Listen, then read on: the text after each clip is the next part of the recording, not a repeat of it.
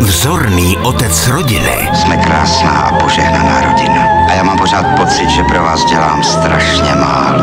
Miluje pořádek a svou práci. Utrpení je zlo, které máme odstraňovat.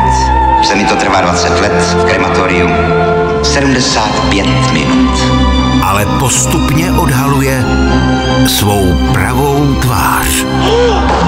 Musím tu ještě spasit jednu dobrou duši. Rudolf Hrušínský ve výjimečném filmu Spalovač mrtvol.